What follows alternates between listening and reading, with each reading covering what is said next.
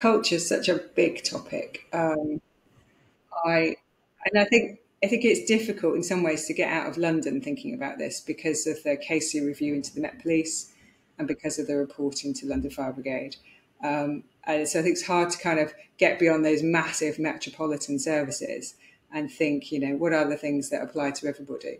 Um, so I think it's right that in the inspectorate decided to do its reporting to fire um, to look at the services and to see where they are in terms of how they treat their staff, how their staff feel about the um, the differences in the way people are treated. So I think it was the right thing to do. I think the service had missed HM, the HMI for the years that it was gone. I think that it, it, it, missed the scrutiny, particularly when you lost the audit commission as well.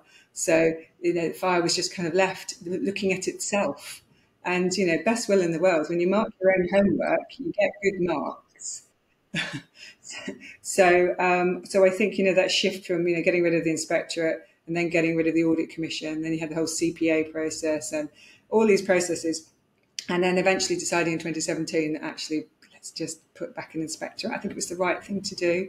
Um, I know there's not necessarily agreement across the piece about who how, how, well it works, depending on who you talk to. But but from my perspective, it's good to have scrutiny and to look at it and shine those spotlights. The cultural spotlight was the right thing to do at the right time, for sure.